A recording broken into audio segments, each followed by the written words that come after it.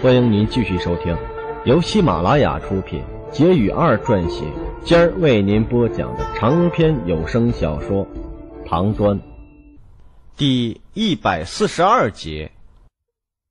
李泰屁股上的疼痛是云叶造成的，还以为李泰的恶意机关最多就是一盆水呢，谁会想到居然是一个装满了沙子的沙袋？裴英现在还头昏脑胀的躺在书院的地牢里回气儿呢。对于云叶的暴力，李泰没有一点办法，告诉自己的母后，让他呀给自己做主。谁知道这母后居然说：“男子汉大丈夫，挨了揍，要么忍着，要么就去打回来。跑来母亲跟前告状算什么？下次再敢告诉，我会再揍你一顿。”从那以后，只要有机会，李泰就会想办法坑云烨一把。只是到现在，这战绩呀为负数，每次坑人不成，自己就会挨揍。云烨从来没有和自己讲过理，拳脚是他唯一的依仗。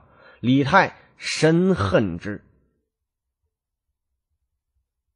老公说：“你的这个破玩意儿行不行啊？”能不能挡住窦燕山？我似乎只用了一炷香的时间，就把你的破玩意儿给摸了个通透，到处都是漏洞啊，跟个塞子似的。要是被那家伙给破了，那你的老脸可往哪搁啊？啊！如果挡不住，你早说啊，我另想办法。云烨对公叔墓的机关之术实在是没有多少信心呢，那些鸡零狗碎的东西能挡住窦家？一句话，把老头激动的从椅子上跳了起来，眼睛都红了。你这样的妖孽，老夫活了七十年，就见着你一个。我不相信这个世界上你这样的人遍地都是。如果随便什么东西都可以是老夫机关之术如无物，老夫今日就从这水塔上跳下去。还有什么颜面在书院里耀武扬威啊？云叶抠一抠耳朵。七十岁的人了，还叫的这么大声，看来呀，还有几年好活。有这样的保证，云烨就放心了。看着在甬道里转圈圈的这个窦建山呢，云烨笑得像一只狐狸，心里想：猴子和驴子不比脑子，跑去比屌长，你们都以为老子傻了吗？真正的世家人命。并不值钱，至少和家族的传承比起来，哪怕是族长的性命都不会比一只鸡的命更加高贵。云烨不敢和窦家真正的比拼实力，更何况他还没那个传说中的实力。如果不是李二硬逼的，他会和窦家保持最远的距离。遇到窦燕山呢，会嘻嘻哈哈的打招呼。说不定啊，还会做东请他吃个饭、喝个花酒之类的。谁喜欢给自己招惹强大的敌人呢？与天斗其乐无穷，与地斗其乐无穷，与人斗其乐无穷的那个是太祖。这种有着超级难度的事情，还是交给太祖他老人家去做吧。云烨只想好好的在家里享受生活，把老奶奶养到寿终正寝。把几个妹妹风风光光的嫁出去，然后呢，自己生几个娃，没事干，自己在家里打孩子玩，那也比和窦家这种庞然大物拼老命要强得多呀。没法躲，也躲不过去了。李二就等着云烨回来发动自己这件事儿。到现在呢，云烨还是不知道到底发生了什么事，还不敢去问裴英。似乎啊，他家早就放弃了他，来书院连个陪伴的人都没有，让裴英孤零零的躲在书院里等死。大家族的心都是石头做的，不知道皇帝和裴家做了什么样的交换，反正裴英是被放弃了。除了窦家一门心思的想把他包成肉包子吃了之外呢？没有人关心他的死活，他自己也似乎是认命了，躺在床上看着房顶，眼睛都不带眨的。云烨拿了几个包子，端了一碗粥给他送饭，踹了两脚呢，他才有反应，脸上堆着笑意，眼睛里却是死寂一片。你这些天就待在这里，如果闷了，就找些书来看。书院的课程你不熟悉，需要提前预习，尤其是算学，对你来说是一个从未经历过的新天地。云叶把包子递给他，又说了：“你现在待的地方是书院的地牢，你知道吗？书院里所有的学子最害怕的就是到这里来，他们宁可挨板子，也不愿到这里来。如果你住不习惯，可以让他们给你换间房。”这里虽然安全，这待久了会出毛病的。云兄，我很喜欢这里，真的很喜欢。我真想一辈子都住在这里，我太喜欢这里的安静了。看得出，他说的是实话。短短的一句话，他一连用了三个“我”字，证明啊，他的确喜欢地牢。云叶拍拍他的肩膀，就关上门出去了。他的饭食呢是小食堂做的，和李泰、李克吃一样的饭食，啊，也经过同样的检验。云烨不想他不明不白的死在这里，又爬上了水塔，问李泰：“你表哥走出去几回了？”“六回了，不过他好像还是不愿意放弃。”现在坐在英娘的小饭店里吃饭呢，养足精神还会来的。李泰最喜欢的就是这种人性化的教育，用真人来演示事物的发展是他最爱的。他突然问云叶：“叶子，如果我没有办法破掉这座迷宫，我会把墙凿穿，或者是挖地道进来，那你一样会输啊？”“哦，那你干嘛不去试试啊？”窦燕山明显比你聪明，他为什么没有选择这样的两条路啊？自然是有原因。不要说凿墙了，书院周边又没有封死，他从哪里不可以进到书院来？为什么要绞尽脑汁的想要破开迷宫？好好想想再说吧。闭着眼睛的公叔木突然说道：“小太，你不用想着凿墙了，也不用想着挖地洞。”这两样都是死路一条。墙建造的时候考虑到了这个问题，只要把一面墙推倒，所有的墙都会倒，所以谁砸墙谁就会死。再说了，墙是建房子剩下的石料建成的，一时半会儿还凿不穿，除非用工程锤才行。至于挖地道，你自己好好想想。云叶瞟了一眼公叔木，这老家伙对于李泰已经算得上是关怀备至了，看样子呢有收为关门弟子的趋势。李泰也不言语，低头沉思。窦燕山又一次徒劳无功，每一个岔路他都做好了标记，他走了所有的甬道，一处都没有落下。每回当他以为要找到正确的路线的时候，迎接他的依然是书院的出口。疲惫的坐在大门外，喝了一口护卫送来的醪糟。见书院护卫一脸的同情之色，就问了：“还有人破解过这条机关吗？”怀公子的话，在公子来之前呢，我家侯爷刚刚从这里进去，还带着一个人。护卫是无所不谈。你家侯爷用了多长时间？窦燕山知道带进去的人一定是裴英，他已经顾不上了，现在只想要知道云烨用了多长时间破解这条密道。呃，红叶这总共出来过三次，第四次只用了一炷香的功夫。窦家的护卫头子立刻就咆哮了起来：“公子，啊他这是……”书院的院判呢？他当然知道这机关在哪儿啊！您对这里一无所知啊，自然会用好长的时间。咱们不破他的什么烂阵，这就闯进去，看他能奈我何！话音未落呢，窦燕山是一记耳光就抽了过来。不等护卫头子反应过来，就对其他的护卫说：“这个书院全名是皇家玉山书院，也就是说，这里是皇家的地方。再有胆敢胡说八道的，家法处置。”众人一惊啊！窦家的家法不是谁都可以承受得起的，轻则是皮开肉绽，这重则那是骨断筋折呀。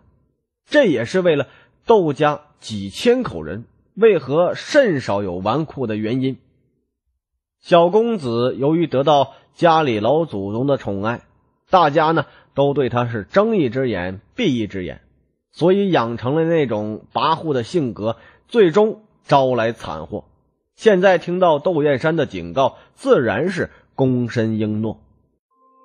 您正在收听的是喜马拉雅出品的长篇有声小说《唐砖》。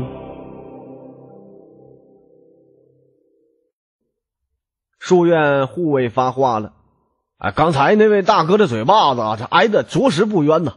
我家侯爷昨天才回来，啊，今日呢是第一天到书院来。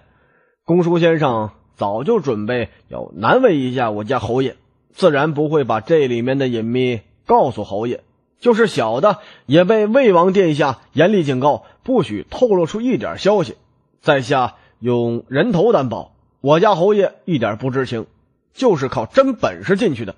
不信，您可以问问李刚先生，他老人家最是忠正，想必不会欺骗诸位吧。窦燕山刚刚升起的一点怀疑，听到护卫这么说，立刻烟消云散。他可以怀疑李刚先生的学问，却不会怀疑李刚先生的人品。李刚花了一甲子打造的个人品质还是很坚挺的。窦燕山猛然想起，自己为何要在这里和书院比试什么机关之学呢？只需要到皇宫里向太上皇讨一道旨意，云烨就是有天大的胆子，也不敢阻挠半分呢。现在麻烦了，如果现在去皇宫，想必云烨就会对整个长安的人说：窦家破不了书院的阵法，只能依靠强权来强取豪夺，还算什么诗礼传家的豪门贵气呀？几千年的传承。就传下个以势压人，坏了！从自己踏进大门的一刻，事情的性质就变了。自己家从被欺辱者，变成了前来书院砸山门、挑战书院学问的砸场子的人了。自己从出现到目前进退两难，就一头钻进人家特意设置好的陷阱，可笑啊！自己还以为这一切不过是一小场闹剧，自己翻手间就可以破掉书院的迷阵，谁知道折腾了两个时辰，自己是一点头绪都没有。迷阵破不掉，自己就无法进入书院。这座大门就是拦在窦家复仇大道上的一道巨石啊！想反悔已经晚了，书院又在不远处。推倒了一段围墙，一大群学生簇拥着先生，把窦燕山围了个水泄不通，七嘴八舌的问他到底有没有办法破了迷阵，啊，自己把赌注都压好了。表哥，你破阵了没有啊？我已经压了五百文参票赌你胜了，你千万不敢输啊，要不然我后半个月那就只能啃馒头了。李泰用崇拜的眼神看着自己的表哥，样子丑陋，表情恶劣。听着背后的马蹄声，窦燕山知道自己呀彻底输了。那些骑马的人，不用说，是去长安宣扬此事的。想必用不了多久，满长安城的人都会知道窦家要挑战玉山书院。至于自己小弟的惨剧，再也不会有人提起。世上只不过是多了一个太监而已，哪有万氏家族挑战新嫩玉山书院来的刺激啊？窦燕山握紧了双拳，关节处都变成了白色呀。他咬着牙说：“窦家一定会破解迷阵，把伤害我家小弟的凶手碎尸万段。”窦燕山才疏学浅，自认解不开迷阵，我就不相信这一个小小迷阵会挡住我窦家复仇的脚步。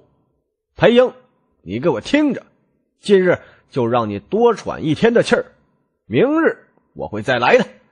说完，推开人群，骑上马向长安奔去。云烨从英娘的小店里钻了出来，神情阴郁的看着窦燕山的背影。大家族就是不缺少人才呀！一番话把书院逼到了死角。世上没有破不开的迷阵，这是一个常识。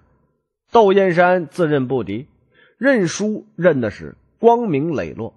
他还再三说明，不是妒忌书院的学识，而是因为书院包庇了伤人凶手。那窦家不得已才来应战，到时候书院就再也没有借口阻挠他们复仇雪恨了。李二的计划也会落空。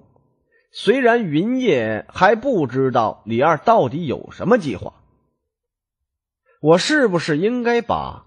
三人行必有我师，这七个字换成一二三四五六七，哎，这七个可爱的数字呢？把遁去的一找回来，七位数的密码要想靠手工解开，窦家还需要再传承两代人才行。云烨也觉得自己很无耻，至少现在很无耻。关心时事政治是所有京城人士的共同特质。大长安如果一天没有发生什么劲爆的话题，那怎么算得上是天下城市之首呢？在进阶鼓敲响之前呢，窦家大战玉山书院的消息已经取代了昨日。昨日礼部侍郎刘元郎。得马上风，不幸半身瘫痪的噩耗，成为新的热点话题。流言是长着翅膀的，只有一条小缝，它就会无孔不入。这开始呢还不错，都是说玉山书院和窦家因为裴英的死活起了争执，窦家老祖宗不依不饶，云云的。这后来呢，因为裴英的名字过于。女性化了，很快就成为啊裴家老祖宗这人老心不老，为了一代红颜，这裴英啊这不惜与玉山书院的蓝田侯起了争执，这一老一少为了争夺裴英，决定在玉山大战一场。红颜配少年自然是良配，中间搅进来一位鸡皮鹤发的八旬老翁，准备横刀夺爱。在这样的谣言下，民心的向背已经不言而喻了。窦燕山回到长安，才给家里的长辈通报了事情的进展，被骂了个狗血淋头啊！挨了十板子家法，一瘸一拐的从祖祠里出来，就听到这个惊天噩耗，提起了刀，连屁股的伤都不顾了啊，就要冲到书院找云烨拼命。窦家的老祖宗德高望重十几年了，这下子直接被人家把声望降到和云烨一个水平。一个是年高德昭的老勋贵，一个是名声鹊起的小泼皮。长安三害之首，那不是泼皮是什么呀？被他父亲窦建德制止了，夺过他手里的刀，扔给护院，就转身回了大堂，只说了两个字：“跟上。”乖乖的随父亲到了大堂，看见老祖宗正在笑呵呵的说话呢。老夫严谨了一生，临老入花丛也不错，这也没什么大不了的。只要在长安城算上一号人物的，这谁身上没背几件恶心的传闻呢？前些日子，老夫听闻几位老友。相继去世，心中就是大是悔恨的。明明交情莫逆，为什么就想不起一起干过那些让人回忆的趣事呢？想起来，只有刀光剑影和诗里愁和，未免有些无趣。如今蓝天侯替老夫补上这些风花雪月，心中无憾矣。窦家的名声太好，这不行。一大家子没几个败家子儿怎么行啊？燕山，你们以后不妨去烟花之地多逛逛，也替窦家向外面宣扬一下：窦家不只有道学先生，也有师傅风流的雅士。窦燕山扑通一声就跪了下去。边叩头边说：“孙儿再也不敢了，求老祖宗从轻处罚。”老头子哎呀半天，才从椅子上站起来。旁边的子孙没有一个人敢去搀扶。老头子从不让人搀扶。上一个这么干的儿子被发配到了沙漠里当活子去了。从那以后，除了老头子身边的七十几岁的老仆人，就没有人。敢去搀扶老头子？您刚刚收听到的是喜马拉雅出品的长篇有声小说《唐砖》，作者结语二，演播尖儿。更多精彩有声书尽在喜马拉雅。